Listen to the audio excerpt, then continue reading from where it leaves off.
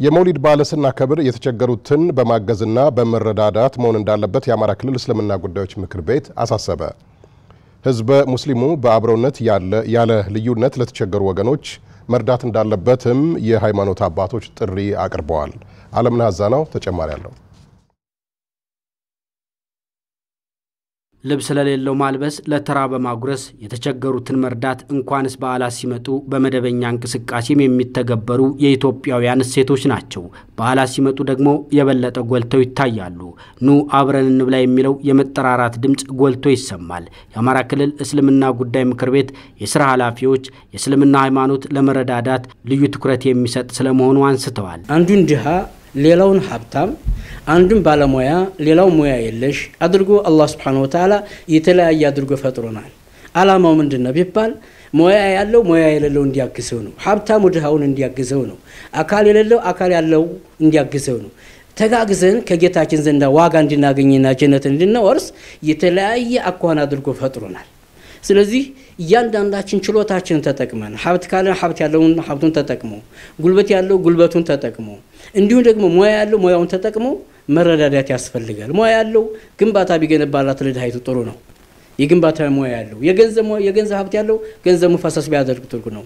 ነቢዩ አለይሂ ሰላቱ ወሰላም ከተናገሯቸው ንግግሮች አንዱ በመካከላችሁ ያሉትን ጎረቤቶቻችሁን እርዷቸው ነው ያሉት ሐታ እንዲው ሌላው እንኳ ቢቀር መረቅ ስትቀቅል ስጋ ስትቀቅል ውሃውን በዛ አድርግና የሌላቸው ሰዎችን ሂድና ዲስታቸው ላይ መረቅ አስቀምጥላቸው ነው ያሉት። ቃል አላሁ ስብሓንሁ ወተዓላ ሀያሉ ጌታችን አላህ ስብሓንሁ ወተዓላ ምን አለ?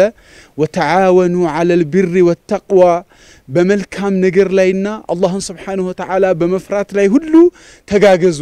ወላ ተዓወኑ ዐለል ኢስሚ ወልዑድዋን ወሰንም በማለፍ ላይ ሌሎችን በመበደል ላይና በተንኮል ላይ ደግሞ እንዳትረዳዱ ይለናል አላህ ስብሓነሁ ወተዓላ። ህዝበ ሙስሊሙ የመውሊድን በዓል ሲያከብር የተቸገረ ጎረቤቶቹን ከመጠየቅ አልፎ በመሰብሰብና መዋጮ በማዋጣት የተቸገሩትን ሁሉ ያለ ልዩነት ሊረዳ እንደሚገባም የሃይማኖት አባቶች መልእክት አስተላልፈዋል።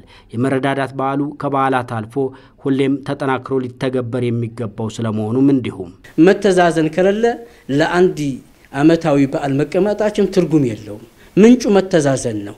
ያበላው፣ ያጠጣው፣ ያከበረው ማልበስ፣ ማብላት፣ ማጠጣት ይልመድብን። በተለይ በጉርብ እየሆን የምናደርገው ነገር እያዋጣን የምናደርገው ነገር ነው። በሌላ በኩል ስናዋጣ ወይንም ስንሰጥ በዘረኝነት በተሞላ መሆን በሃይማኖታችን የተገደበ መሆን የለበትም። ድሃ መሆኗ ብቻ በቂ ናት። የትኛው ማስተሳሰብ ትሰብ የትኛው ማመለካከት ይኖራት ለእኛ ድሃ ሁና መገኘቷ በቂ ነው። እሷን እንርዳት። በወላጅ አልባ ህጻናቶች ላይ በድሆች ላይ ወላጅ አልባ እንደዚሁ ደግሞ ባሎቻቸው በሞቱባቸው እህቶች ላይ የሚሰራ እነርሱን የሚያግዝ ከልሙጃሂድ ፊ ሰቢልላህ በአላህ ስብሓነሁ ወተዓላ መንገድ ላይ እንደሚታገል ትልቅ ሰው ነው። ወከሳኢሚ ለዚ ላ የፍጡር አሉ። ምንጊዜም እንደማያፈጥር ጾመኛና ወከልቃኢሚ ለዚ ላ የፍጡር እንደዚሁ ደግሞ ምን ጊዜም እንደማይደክመው ሌሊቱን ሁሉ ዱዓ እያደረገ እንደሚያድር አማኝ ነው ብለዋል። ሊዛሊክ استجابة لله ورسوله الله الله እንዳዘዘው መልእክተኛው እንዳዘዙት ሁሉ አዒኑ መልሁፈን የተቸገረን እርዱ፣ ዑዱ መሪضን በሽተኛን እዩ፣ ክራይ መክፈል የተቸገረን አማኝ እርዱ። ክራይ መክፈል የተቸገረን ማንኛውንም ሰው ጎረቤትም ሆነ ሩቅም ሆነ የተቸገረን የጠማውን አጠጡ፣ የተራበን አብሉ፣ የታረዘን አልብሱ። قال الله قال رسول الله صلى الله عليه وآله وسلم يا الله ملكتኛ عليه الصلاة والسلام من قالوا ارحموا من في الأرض. بمدر لا اللي بمولو زنو يرحمكم من في السماء. الله سبحانه وتعالى يزن الله